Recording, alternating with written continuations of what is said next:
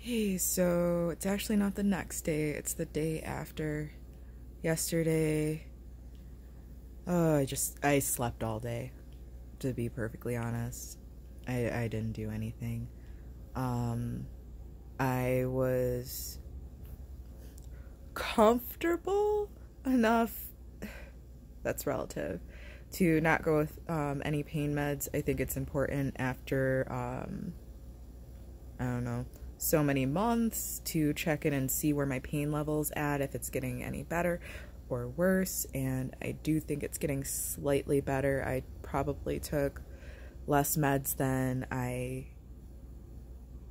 ever have of this for sure. So that's wonderful to see.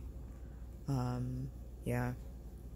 But yeah, like I said, I didn't do anything. I literally just slept all day and my husband was home to take care of me, so I was afforded that luxury. Um, but other than that, I'm starting to feel a lot, a lot better. I haven't had any med- medication today at all. Obviously, I didn't have any yesterday either, but today I definitely do not even need any whatsoever. Um, yesterday, I might have been able to take like half a pill if I really wanted to and been a little more comfortable than I was. But hopefully, I've shed some insight. I'll try to put some helpful information uh, laced in between here. I'm also going to put some pictures of how bad I could actually bloat.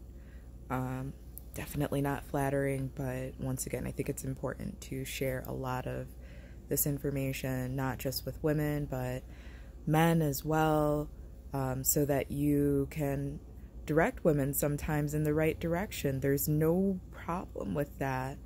You know, women's health is men's health, and men's health is women's health. That's why we have, you know, each other's names in our name women, women, men. Like, we're, we're, the, we're the same. We really are. And we need to take care of each other and love each other. And know what the hell is going on in each other's bodies because I know a lot of men have a lot of confusion when it comes to women's menstrual cycle, periods, whatever you want to call it. Um, yeah, it's not just some crazy ass murder scene down there that we can't control. It's actually a lot slower. And also, if you change to tampons, you would know how slow your period actually is because the tampons lie. They really, really do. Um, the other best part about a menstrual cup is you can leave it in for 12 hours without any risk of TSS, um, toxic shock syndrome.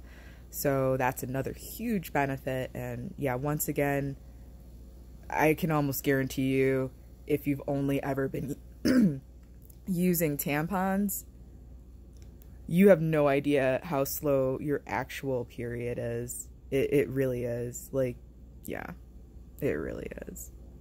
There's nothing just like pouring down our legs or anything if we don't, you know, shove something up there. That's not how this shit works.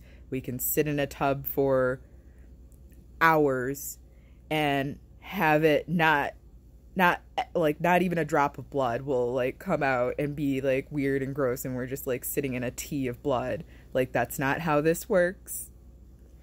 Literally it just that's not how this works. So maybe i'll make a video on what a period is actually like um for men and women and little girls because there's so much confusion. Most women don't know what the hell is going on with their own bodies which i find absolutely tragic because I mean,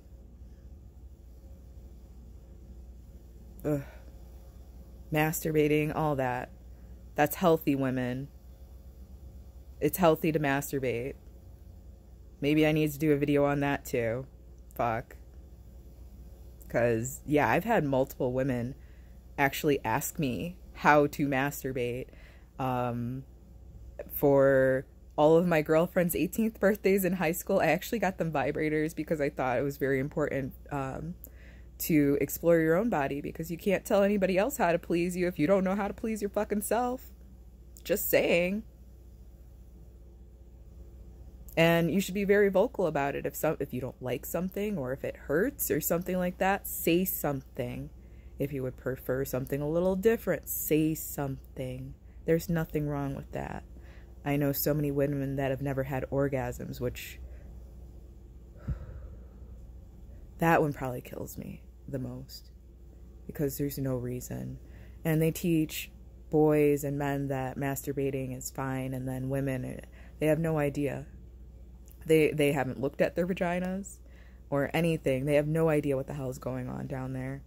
Um yeah. So, future video. See, you can tell I'm I'm feeling better. I have some emotion and it's not just uh sleepy uh, everything hurts, uh, I'm going back to bed, uh, I'm eating just so that I can take meds.